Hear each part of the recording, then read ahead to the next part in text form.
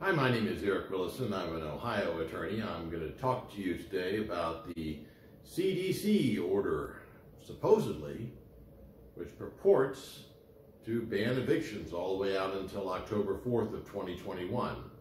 If you will recall, the CDC had originally banned evictions and it was supposed to end uh, in December of 2020. Then it got extended and extended and extended.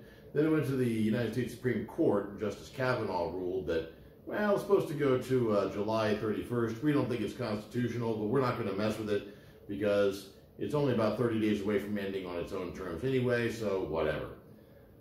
Well then, it ended for about two or three days. Now this is for banning evictions for people who don't pay rent. This doesn't stop you from uh, evicting somebody because they have an unauthorized dog or otherwise breaching the lease.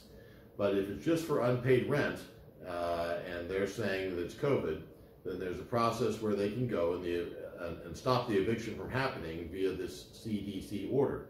Now, after uh, that CDC order ended on July 31st of 2021, within a few days it was reinstated, but the wording was a little bit different. and if you live in Ohio, that's going to be important because if you go to page 13 of the CDC order, the first full paragraph says that the new order stopping evictions for unpaid rent through October 4th does not apply in any state wherein a federal court has said that the CDC order is unconstitutional.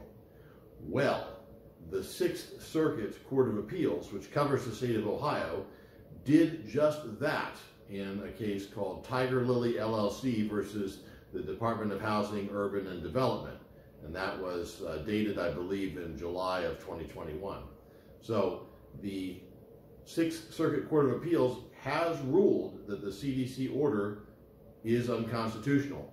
Therefore, by the CDC order's own terms, this is the new CDC order, it does not apply.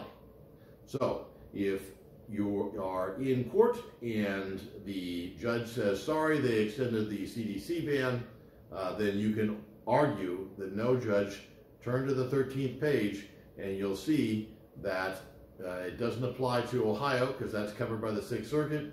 And the case on that was Tiger Lily LLC versus Department of Housing and Urban Development.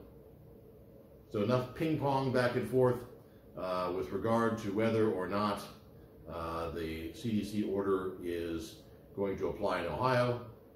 I take the position that it does not, and most of the courts I'm practicing in take that same position, and quite right too.